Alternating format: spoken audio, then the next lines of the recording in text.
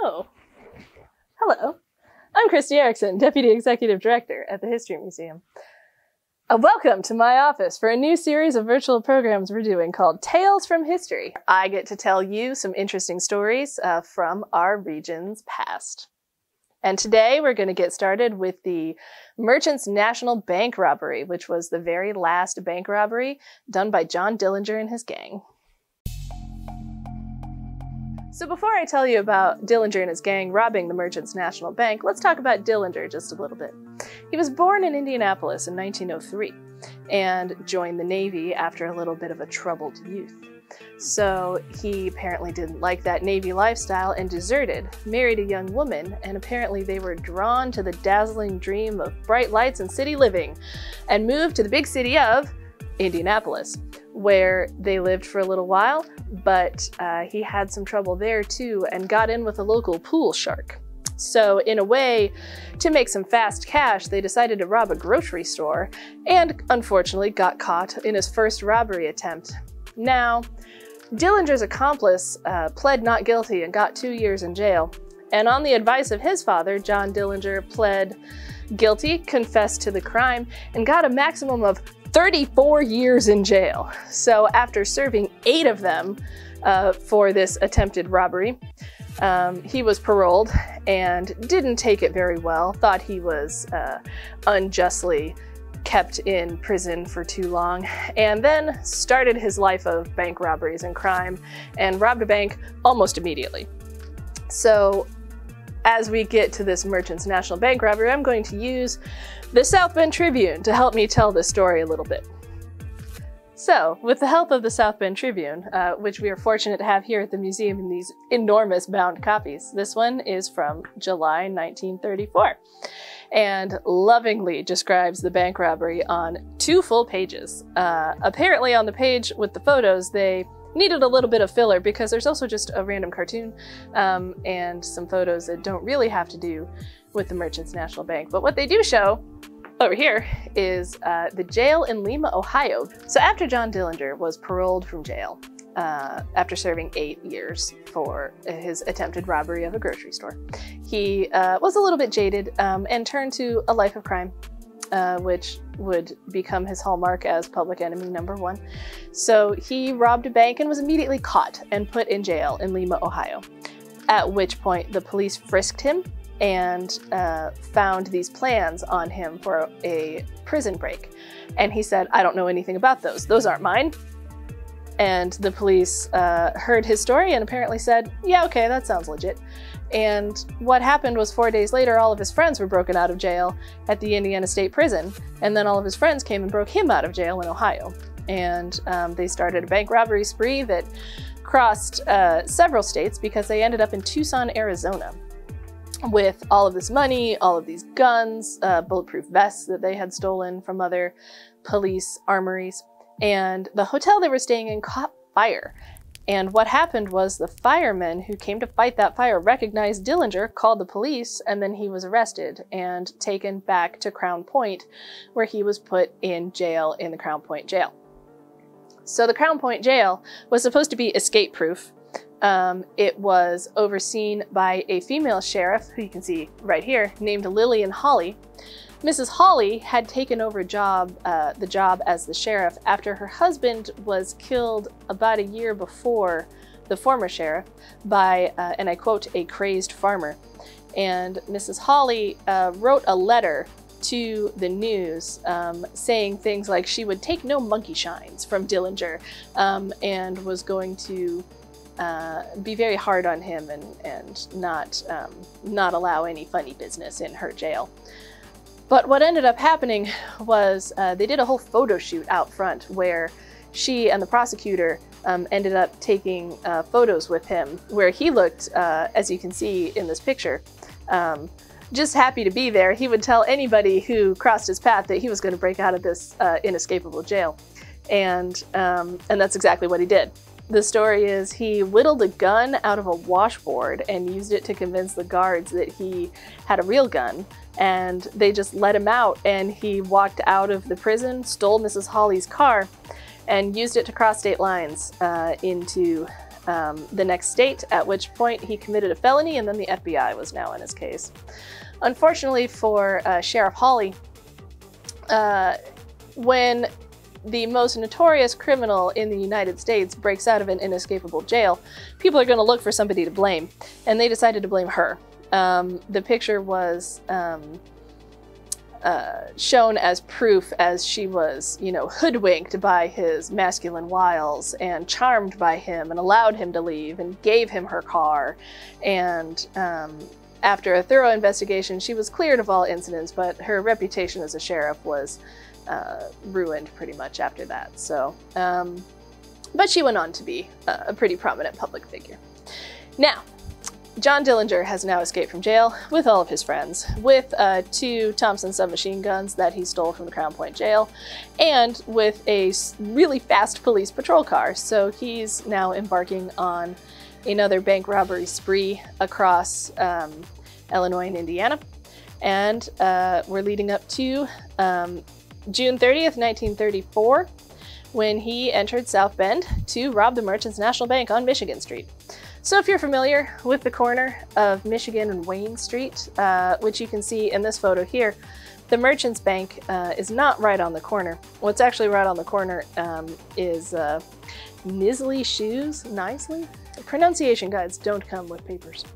But um, what's there right now is Cambodian Thai. And then next to that is the former Danny Made Bake Shop. so if you're like me and get a TV bar with your pad thai, you're pretty familiar with that area. And then right next to that uh, was the Merchants National Bank. So um, at around 11:30, the story is that a brown Hudson sedan was double parked on Wayne Street, and then another car uh, dropped some men off right in front of the bank. And Dillinger, uh, with his machine gun and two of his other men, entered the bank. Dillinger uh, shot some bullets into the ceiling in order to scare all the people in the banks while the tellers ran away. Uh, many of the other patrons went and hid in the back, and his men started scooping money into bags um, and ended up with about $28,000 in the middle of a Saturday. Um, it was busy on Michigan Street. It was really hot that day. And as soon as the nearby patrol cop, uh, traffic cop in the corner, heard the gunfire in the bank, he ran over um, to try and help I guess, and was shot by one of the guards um, who were keeping watch outside the bank. So he was the uh, only person to be killed in this bank robbery. Was this first cop at this at the very beginning, and that's kind of when things got pretty buck wild on Michigan Street.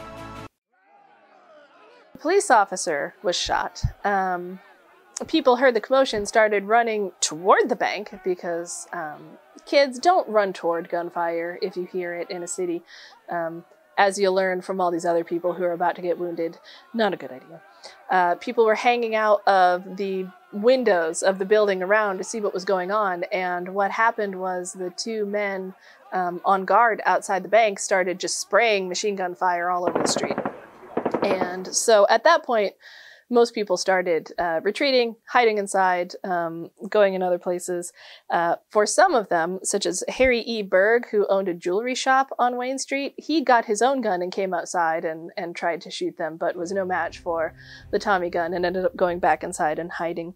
Um, he was up against uh, who was believed to be Babyface Nelson, who was part of uh, Dillinger's gang at the time. And uh, the gang also seemed to have bulletproof vests, so they were just far better armed than anybody else on the Um, and across the street, some people were sitting in a parked car. Um, actually, two men who lived right on the lot that the museum is in now had carpooled um, to do some shopping, and both of them were um, wounded. One of them in the car was grazed on the side of his head and did the smart thing and drove his car around the block to get out of danger. Um, whereas the other one uh, hid behind another parked car and, and also survived.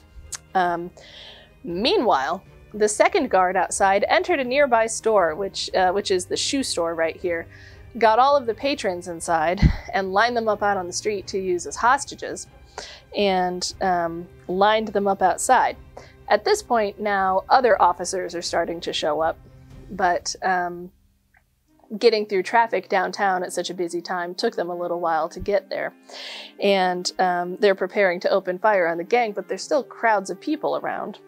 And at this point, the robbers emerged from the bank, each holding uh, a person as a human shield, in order to try and prevent uh, the police officers from firing on them.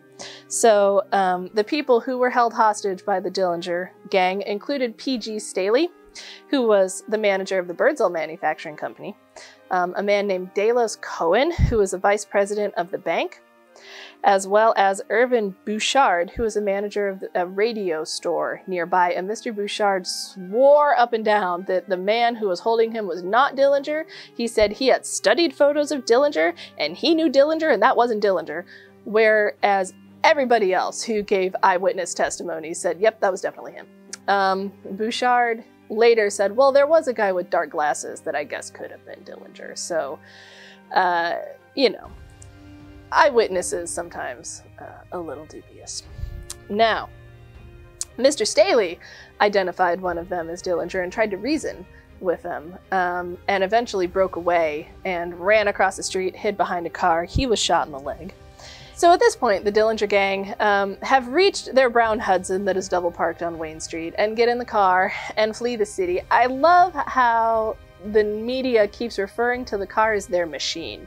Um, so their machine took off down the street. I think I'm going to start calling my car my machine. Um, do you want to get in my machine? Do you like my machine? No. Um, and they took a couple turns. Um, so there's some discrepancy of whether they fled south down 31 or down Washington Street. Uh, later on, it was determined that they actually had two cars. So that is um, why there's a little bit of argument there. And they also dropped tacks along the highway because apparently the Dillinger gang lives in a Looney Tunes cartoon uh, to stop people from following them down US 31. So you know, everyone knows that uh, rogues are proficient in caltrops, so um, I guess it would make sense for a Dillinger gang to have some tacks. So you can see here uh, in the paper, they've got uh, this picture of the scene with numbers. So number one um, is where Howard Wagner, the uh, traffic cop who was unfortunately killed at the scene, that's where he fell wounded, is number one. Number two is Merchants National Bank building uh, with the clock in the front. Number three, outside, is where P.G. Staley was wounded by um, John Dillinger. Four and five were the two machine gunners who were standing on the street uh, at watch duty. Number six was the sedan double parked on Wayne Street. Number seven is the Harry Berg jewelry store, where that gentleman tried to come out of his jewelry store and, and fight the desperados. Uh, eight and nine on this are nowhere in any of these articles referenced, so not sure what those are supposed to mark, but um, not listed as part of this news. Uh, also on this page, you can see two photos of an automobile hit by bullets. Doesn't say which one or where. Um, two people who tried to fight the gang. You can also see a photo of the inside of the Merchants National Bank building, as well as a photo of the ceiling uh, with the bullet holes. And again, a cartoon that doesn't seem to have anything to do with anything. So on the other page are eyewitness stories. And there's a couple pretty good ones here, which I'm going to share with you. Now, among these eyewitness stories, they take great pains to make sure people understand that the Merchants National Bank is fully insured and that the money that was stolen um, is uh, not going to affect anybody's investments, and also that the Dillinger gang missed, uh, as they describe, several stacks of gold and silver in the bank. So, um, not very observant while they were um, taking the money from the cash register tills. There's also an article um, that I enjoyed with the headline Hold Up Thrill to Women But Scares Men, where a woman who was in the bank um, named Mrs. Edwin J. Buchner? Buchner? Again, no pronunciation guides here. Talks about having to go hide in the director's office with several other people and one other woman, and that the other woman uh, described it as being thrilling, but the men uh, seemed pretty scared. So this whole article is all about how excited she was by this bank robbery. There's some note uh, that part of the reason that it took so long for the police to respond to the robbery was a lack of municipal funds, meaning that most of the police cars didn't have radios, so they weren't able to call the station, call for other cars to get back up there as well. So um, they were trying to cut some budget corners that year and, and weren't able to respond as fast as they might like to. Um, they talk a lot about how the bandits' cars were much faster than the police cars. Um, noted that, uh, unfortunately for my friends next door, most of the police cars were Studebakers and not able to keep up with the bandits' cars or the motorcycle. One of the cars, one of the police cars got two flat tires. The other one had a gas line that blew. And the motorcycle apparently just gave up and was abandoned in Lakeville. Uh, so the Dillinger gang was able to get away. My favorite thing listed here is um, that they did an airplane search after uh, the gang got away, and they got in a plane with several policemen who were, quote, uh, heavily armed and flew this plane all around the country roads and wooded areas around the city and swooped down to investigate any suspicious cars. So let's think about this for a minute. You're out for a country drive with your friend, your family, uh, you know, maybe enjoying the scenery, and an airplane swoops down on you north by northwest style, full of armed police officers to make sure that you're not a gangster. I have to think that would be pretty memorable, and also who thought that would be a good idea?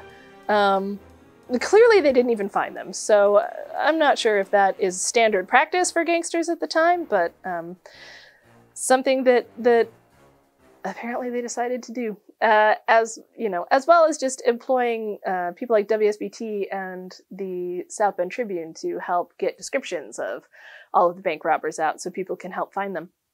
What ended up happening was um, they did find the Brown Hudson um, in uh, near Logansport, about, uh, I want to say 40 to 50 miles west of Logansport, near the Illinois state line, um, abandoned.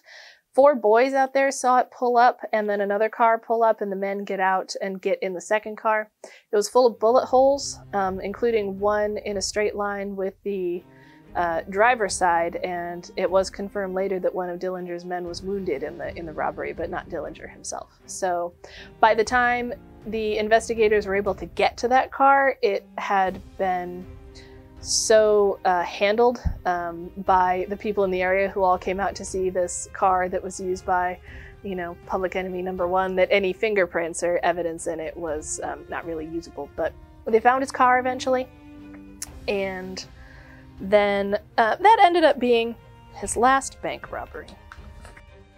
The Merchants National Bank robbery occurred on June 30th, 1934, and uh, Dillinger was famously shot by federal agents on July 22nd, 1934. So he laid low for a little while, but unfortunately uh, attended uh, a show at the Biograph Theater that fateful night and was um, pointed out by that woman in red. Uh, so one last thing before uh, I let you go. We uh, do have one thing in our collection relating to that Merchants National Bank robbery, and that is our Thompson submachine gun. Uh, now, this one in particular was actually at that bank robbery in the trunk of one of the police cars um, that uh, responded to the scene.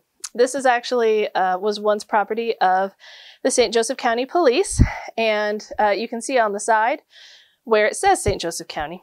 And many police uh, departments, um, other law enforcement, bought guns like this one in order to combat the firepower that um, gangsters like Dillinger had. So this one was our police department. Uh, according to the records that we have, it was never actually used and was donated to the museum in 1988. So if you're interested in, in this type of firearm, this is a model of 1921. These were um, developed for World War I, but is most notoriously used by gangsters. Um, they were also used in World War II. This one has a magazine that can hold uh, 50 45 caliber bullets and fires about 450 rounds a minute. So um, this is one of the Uh, we think the highlights of our collection since it's got a great story, and it is normally on display in our Voyages gallery, where uh, I'm going to put it as soon as we're done here. Thank you for joining me today. Um, hope you uh, learned a little bit about uh, the happenings of June 30th, 1934 on Michigan Street. And next time we'll be talking about something that is a little bit less tragic.